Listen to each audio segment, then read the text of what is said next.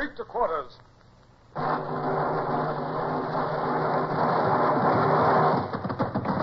out the guns. Stand by the starboard battery. One broadside into it, if you please, Captain Bush. Pointers on target. Linstocks ready. Aye,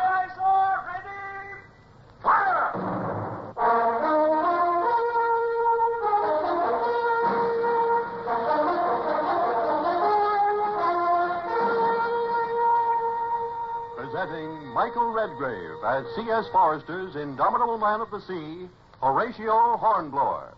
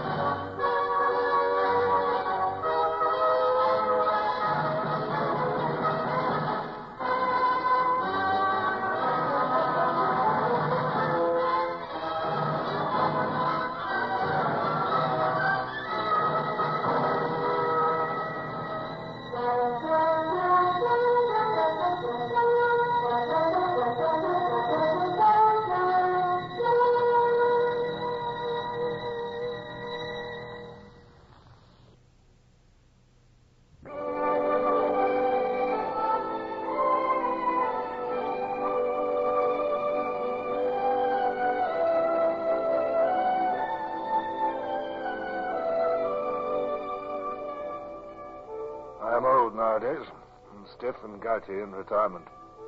But not too old to remember and feel again the thrill of a heaving quarterdeck beneath my feet. The white-flecked Mediterranean round me. The nearest admiral Rome, a hundred miles away. And the prospect of adventure just over the horizon. On that particular morning, Lieutenant Bush shared my feelings. He was grinning like a gargoyle as he joined me. And only my determination to maintain my pose as a man of iron prevented me from grinning back. Blowing a bit, sir. And it'll blow more before it's over. It can blow all it likes, Mr. Bush. Perhaps it'll blow some French ships out of port. Ah, not much chance of that, sir, I'm afraid.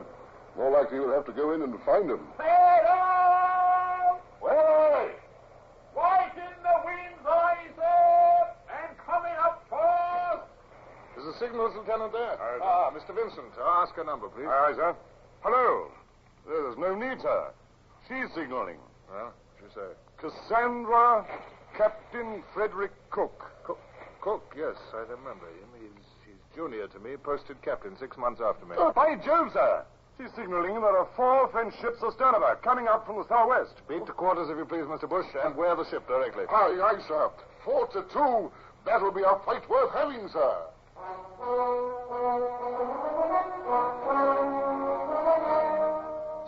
But I knew that Bush, that old war horse, was to be disappointed. It was not my task to fight against heavy odds until I made sure that the situation demanded it. Other British ships might be in pursuit. Rushing into battle without thought might be as bad as rushing out of it. Further signaling elicited the information that the French ships were six miles astern of Cassandra, bearing northeast. Another message stated that no other British ships were at hand. This confirmed my suspicion that these four enemy vessels had broken out of Toulon harbor.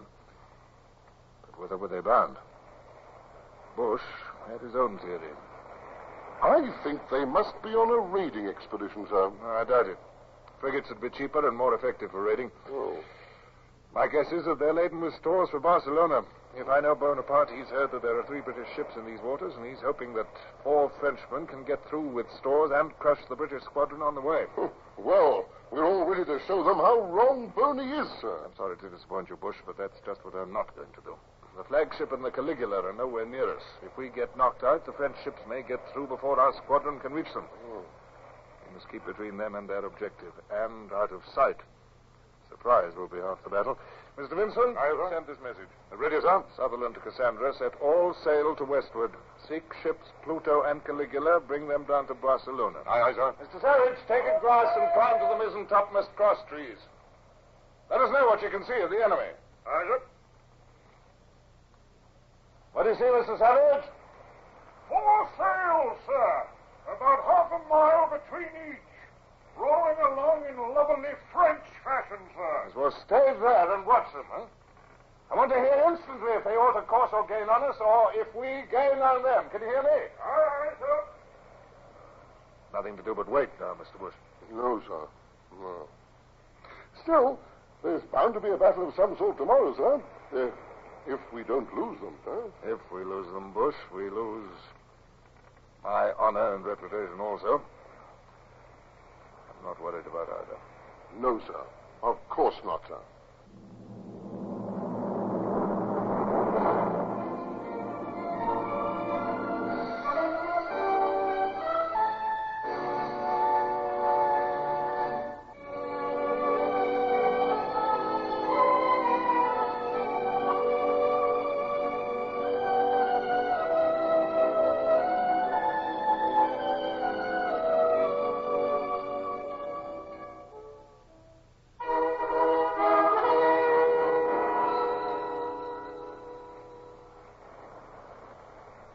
Gerard. Anything to report? Not much, sir. It blew hard at two bells, but it's dropping fast now and backing southeasterly. That'll be nearly a foul wind for the Frenchman, sir. Be fouler for the Pluto and Caligula. I thought I felt the loom of the land a while back, sir. Did you? Hmm. That'll be Cape Creus, I expect. Ah, here comes the sun. Land ho! Yes, I thought.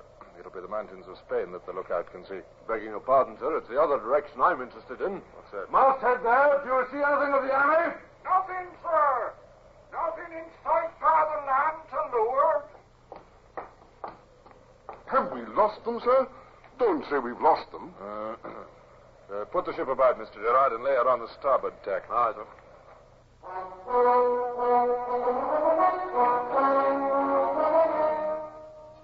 Whatever anxiety I felt, I was confident that no trace of it showed in my manner. But I was very anxious. The French might have altered course in the night and be lost now in the middle of the western Mediterranean. But I thought it unlikely. It was more probable that my officers had made insufficient allowance for the unhandiness of the French crews.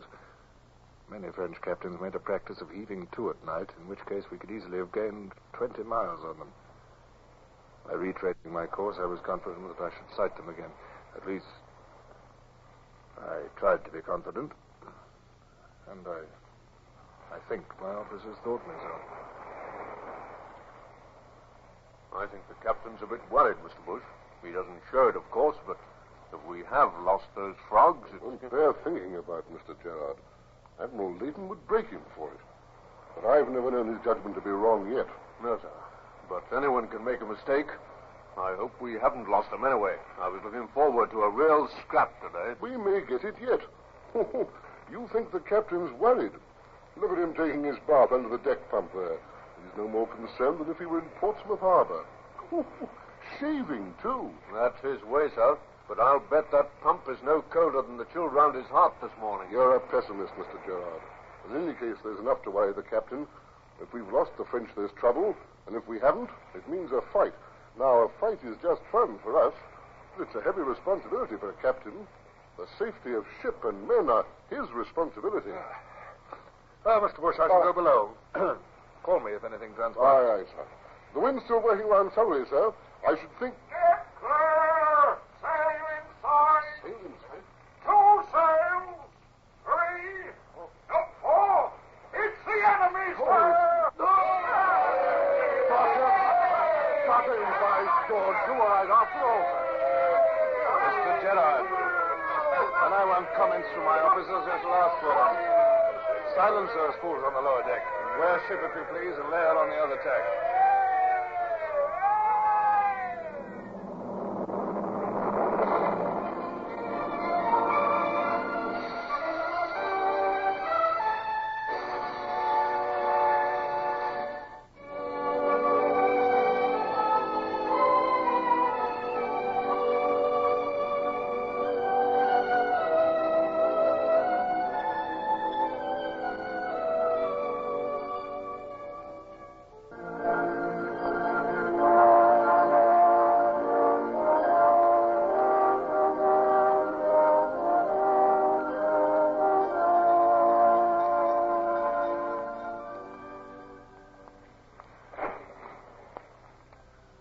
A close hold, Mr. Bush. We're clearly visible to the enemy now, so we can no longer count on surprise. Aye, aye, sir.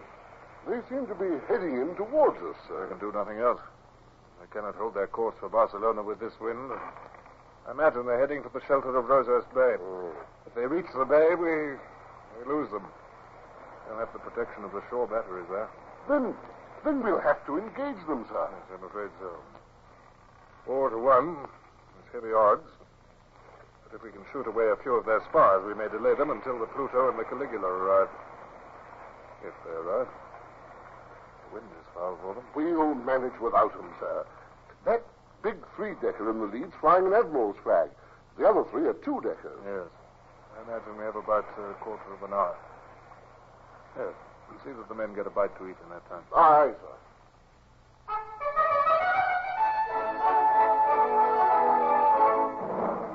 Sick wave of excitement and apprehension flowed over me as I watched the four ships bearing down on us. They were obviously intent on destroying the single ship of the line which stood between them and safety. I could not hope to turn back. All I could do would be to dismast and damage some to delay them in the hope that the other ships of the British squadron might arrive in time to destroy them. What would happen to my ship in the process did not bear thinking about. It. The leading French ship mounted 80 guns. I could see their muzzles grinning at me through their open ports. I glanced once at the battered red ensign fluttering at my peak, and then plunged into the realities of the situation. Hands to the braces, Mr. Bush. I want the ship handled like lightning when the time comes. Mr. Gerard, I'll have every gun Captain Flog who fires before his gun bears. Every shot is to tell. Aye, sir. I promise they'll give us our best, sir. She's coming at us bow to bow. If she holds that course, we'll ram her. Let her ram. If I know my French captain, he'll swing to leeward at the last. You down. Hold her steady, whatever happens. Steady it is, sir. Half a mile. I wonder which way he'll swing. She's firing up bow, chasers. Does you think those pop guns will frighten us off?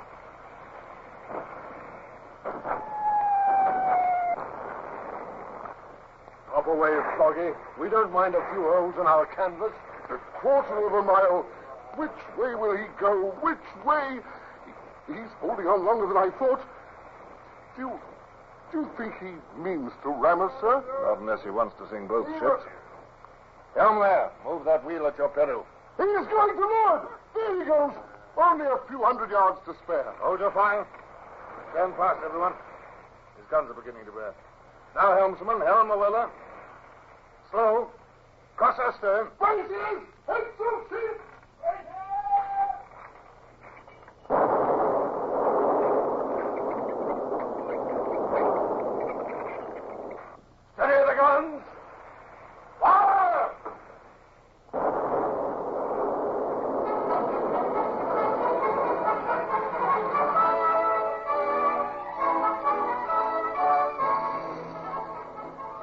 Long hours of gun drill bore fruit now.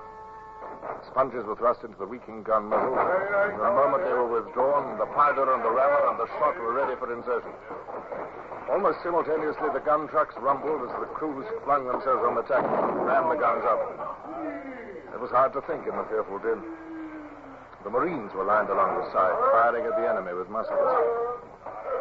It was obvious that the French crews were suffering from their months in harbor. Their firing was ragged, and we were firing three broadsides to their two. Well, their fire is slackening, sir. I expect. Oh, look at his mainmast! He's coming down, sir! Look! There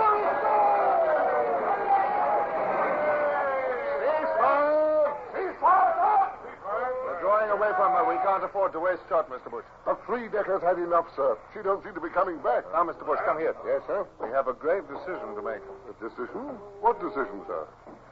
Well, we can tack to safety now if we wish, fighting off the others if they interfere, or we can throw ourselves into their path and fight it out. Yes. Our squadron must be becalmed, or they would be in sight. We can expect no help from them. No. If we fight, we must expect to lose our ship. Try to forget your natural desire to fight, Mr. Bush. What we have to decide is can we afford to lose a 74 gun ship merely to delay the French for an hour or two? I think we must, sir. If we damage them enough, they'll have to wait in Rosas for repairs, and the squadron can attack them there. Besides, Yes, what? Besides what? well, we can't run away, sir. They'll think that. Well, thank you, Mr. Bush. That was the decision I had already reached. But, well, Bush, your life is at stake, too. Oh. You were entitled to be consulted. Lay the ship on the port tack, if you please. We'll go in and fight. Fight! Hands to braces! We fight on! Fools. the glorious fools. They cheered at their own death sentence. We will attack their flagship. Let her pay off slowly, Mr. Bush. Bring her up on the same course as the flagship. Aye, sir. Mr. Gerard, a carefully timed broadside as you bear. Aye, sir. Now.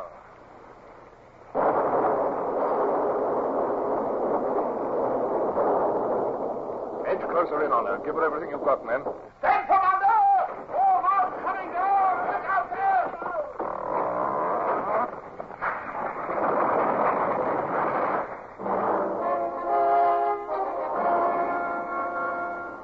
The foremast and the mainmast came down together with a crash that even drowned the din of the battle. The wreckage tumbled across the starboard side, Hooker ran forward with a group of men from disabled guns to hack it clear. I seized an axe and joined the party.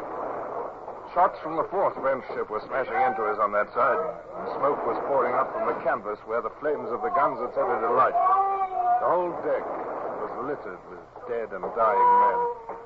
The wheel was gone. The masts and bulwarks were beaten flat.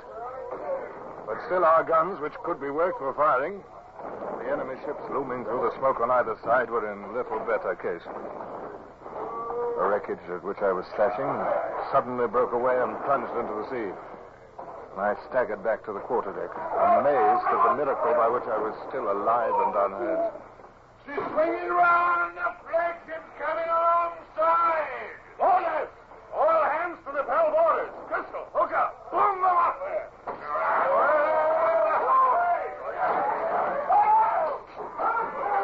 Come on, men! Rally! Drag overside! We're swinging away, sir! They can't get any more aboard us! Now, come on, sir! Surrender! No! No! Neville! All right, men. The last of them's jumped overside. Gerard, come here.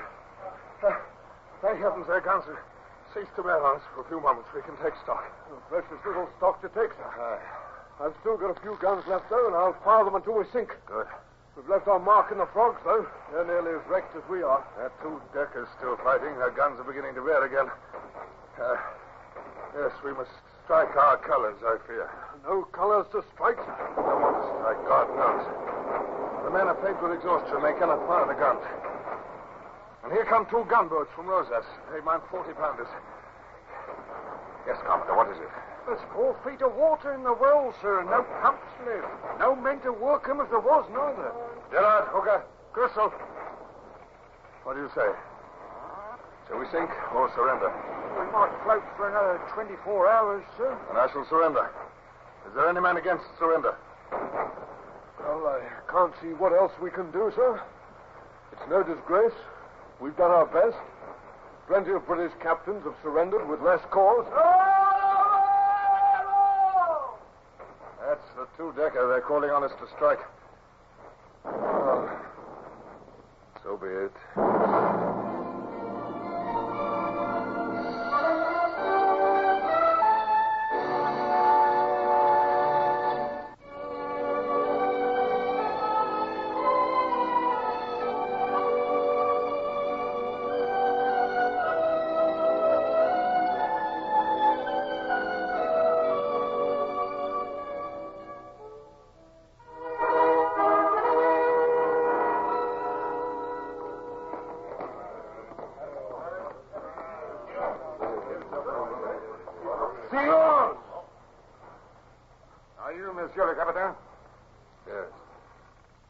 Horatio Hornblower at your service.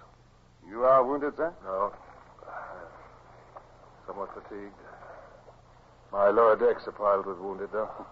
Not only your deck, sir. May I take your sword, Monsieur le Capitaine?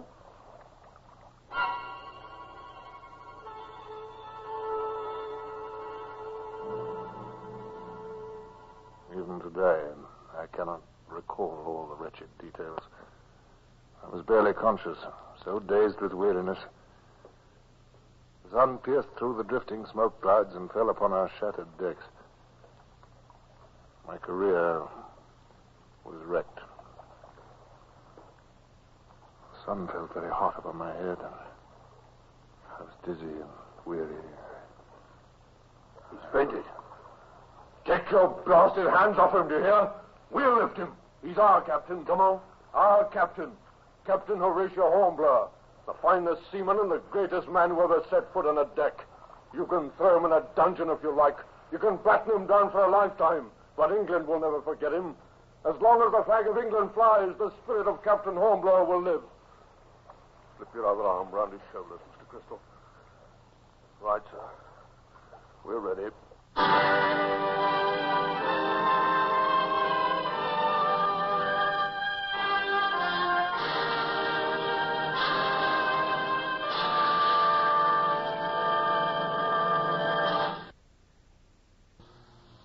Horatio Hornblower, starring Michael Redgrave, is based on the novels by C.S. Forester. Music composed and conducted by Sidney Torch. Produced by Harry Alan Towers.